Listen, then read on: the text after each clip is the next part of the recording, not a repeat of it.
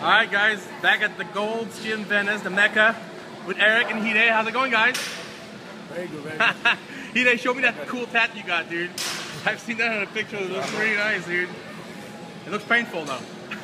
it was okay. Yeah. But just, you know, came back to, you know, like hard training, real training, little by little. Start training with Eric, little by little. So nothing rushing, because uh, I don't do any show anymore this season. Okay, until until when? When until next Well- season or what?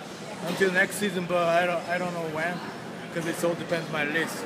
It's healing, but I need some, some more time. Show me, show me the, the arm real quick. Yeah, it's okay, but you know, it's uh, if you do surgery, Wow. it's getting tight, really tight, and uh, it's getting you know flexible. But I feel I still need time.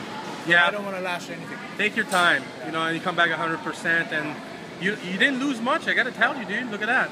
Didn't lose at all. Huh? I think his arms actually got even better. Do you feel the arm lost a little size? It doesn't look like it. Do you? Well, my biceps came back, but Yeah. biceps still need some work. Okay.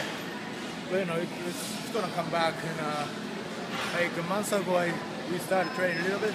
Yeah. And I, you know, my size is coming back Yeah. slowly but surely. So. You look good, dude. We're glad to have you back. I can't wait to see you back on stage again. It's not gonna be the same without you this year. try. All right. You're gonna go though, right? Of course. I'll be there. Of course. All right. Of course. All right. Good to see you guys. Thank you.